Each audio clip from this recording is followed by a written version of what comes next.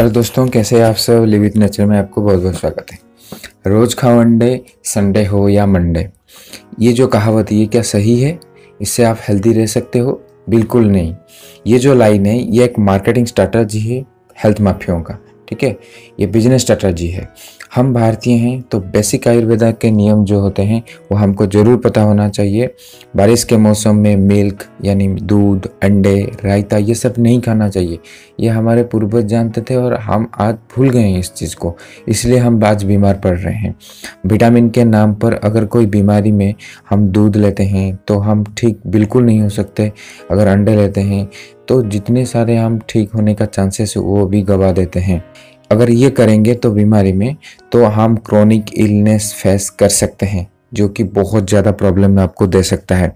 आज गांधी जयंती है तो हम आज शपथ लेंगे कि हम पूर्व पर्यावरण को बचाएँगे। इसलिए आज से हम कोई भी एनिमल चीज़ों को छुएँगे भी नहीं फ़िश हो मीट हो ये सबसे दूर रहेंगे। तो फिर क्या कैल्शियम क्या प्रोटीन ये सब सटेज हो जाएगा। मैं आज आपको ये बोलना चाहता हूँ, पूरा ज़िम्मेदारी के साथ कि आपका कोई भी एक न्यूट्रिएंट शर्ट नहीं होगा। आपके शरीर में आप अगर वेजिटेरियन हो जाते हैं तो आप फिजिकली एंड मेंटली स्वस्थ रहेंगे, क्योंकि मैं आज से 10 साल हो गया, पूरा फिजिकली फिट भी हूँ, पूरा एकदम ठीक हूँ, कोई भी मुझे बीमारी नहीं है, कोई भी शॉर्टेज मुझे नहीं है, ठीक है? देखिए गांधी जी जब साउथ अफ्रीका में थे, उस टाइम पे कुछ बहुत ज़्यादा प्लेग फैल गया था, जो चूहों के कारण होता है। उस समय सिर्फ़ कुछ नेचुरोपैथी के टेक्निक यानी आप नेचुरल चीज़ें जो है, उससे ही गांधी जी बहुत सारे पेशेंट को ठीक किया था।